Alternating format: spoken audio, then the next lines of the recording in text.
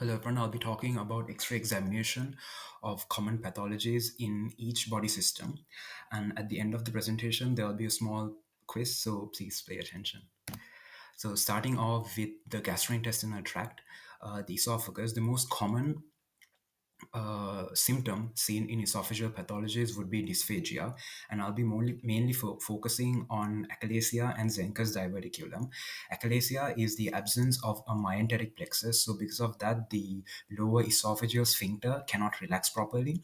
So because of that, the esophagus the esophagus is dilated, and this is diagnosed uh, by doing a fluoroscopy with barium swallow. And as seen on the diagram on the left side, uh, there'll be a bird's beak appearance on the fluoroscopy. And this is usually treated with a myotomy. Zenker's diverticulum is the outpouching of the mucosa. So all the undigested food will get accumulated in the in this outpouch approaching. And uh, when, and when you do a fluoroscopy with barium uh, swallow uh, you can see the accumulation of barium in the outpouching and that's how it is diagnosed. And uh, it is treated with a surgical repair Moving on to the stomach, uh, stomach ulcers. The most common causes of stomach ulcers are uh, H. pylori, NSAIDs like uh, aspirin, smoking, and alcohol. Symptoms would be abdominal pain in the epigastric region. This is usually relieved by uh, eating or by taking antacids. Uh, the diagnosis is done by fluoroscopy with barium meal and a CT scan. Complications of stomach ulcers are uh, hemorrhage, penetration, and perforation. Penetration is the uh, is the penetration or the penetration of the peptic ulcer or the spreading of the ulcer into the adjacent organs.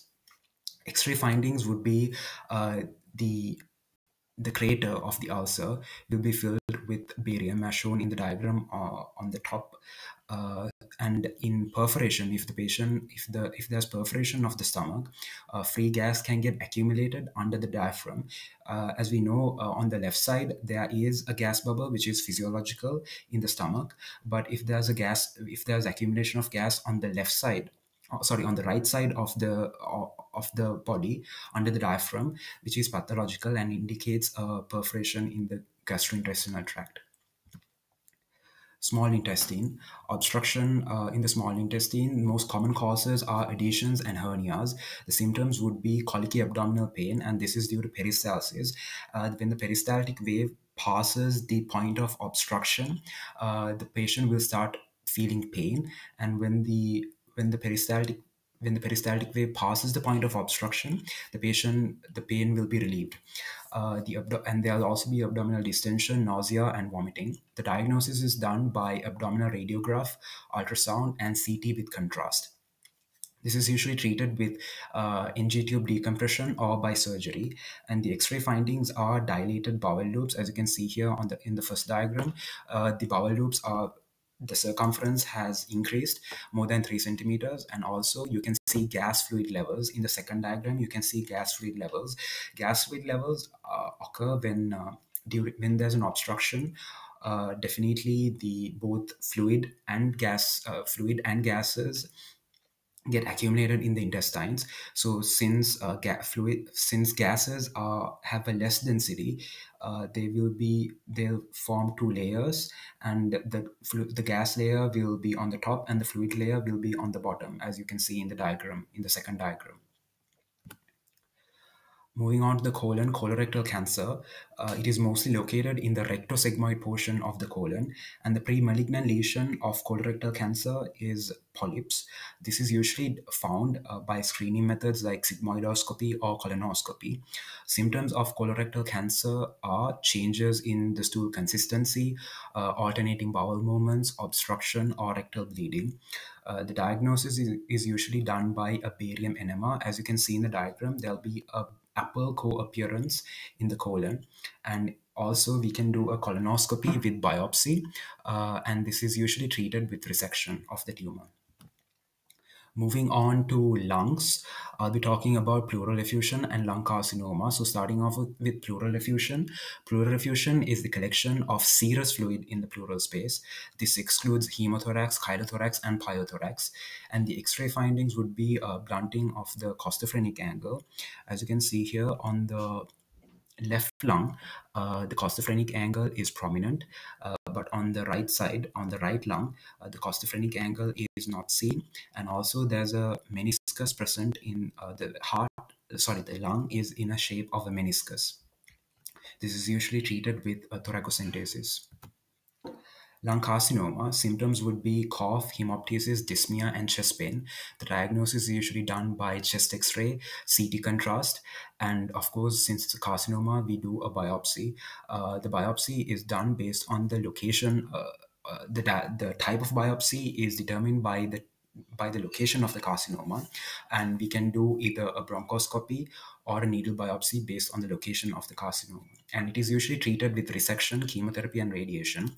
X-ray findings would be uh, local lesions more than two centimeters, as you can see in the first diagram.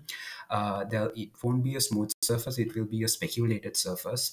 And if the lymph nodes are involved, the mediastinum would be wide. And usually it can be accompanied by pleural effusion and consolidation. In the second diagram, you can see metastasis of uh, lung metastasis. It is usually the metastatic spread. It is caused by a metastatic spread of a primary tumor via blood or lymph. So this is not uh, lung carcinoma. Uh, this the tumor is located somewhere else outside the lungs, and it has spread into the lungs by blood or lymph and you can see uh, rounded nod nodules here and and these nodules are in uh, have variable shapes uh, variable sizes and they are found in both of the lungs and moving on to the heart, uh, heart configurations, there are two types of heart configurations, the mitral configuration and the aortic configuration. The mitral configuration is usually seen in mitral stenosis and mitral incompetence. So here, this, this patient has mitral stenosis, and because of that, we can see left atrial dilation and uh, also right heart uh, dilation is also seen or right heart enlargement is also seen. Uh, the lung pattern has changed. We can see the pulmonary veins are horizontal in shape presence of Kerley B lines. And the pulmonary uh, aorta has also uh, has increased in size. This is also known as a bull's heart aortic configuration or boot heart uh, it is uh, this is usually called this is can be caused due to aortic incompetence or aortic uh, aortic uh, stenosis. Uh, we can see uh, the left ventricle has enlarged and usually the lung patterns are normal. So this part is um, So this is the quiz and uh, you guys can pause the screen and uh, give a diagnosis. Um, and the first one would be pulmonary effusion. So as you can see here, the costophrenic angle is absent and also the lung is in a shape of a meniscus. And then the second one is mitral configuration. This is mitral, the mitral configuration is caused due to mitral incompetence. So because of that, we can see enlargement of both left atrium, left ventricle, and the right heart. And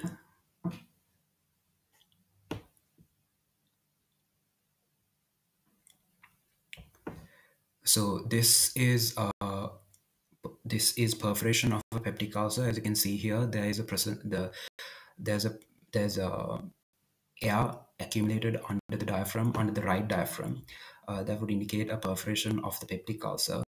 And then here you can see uh, several rounded nodules of, of variable size, and this would indicate uh, lung metastasis. Um,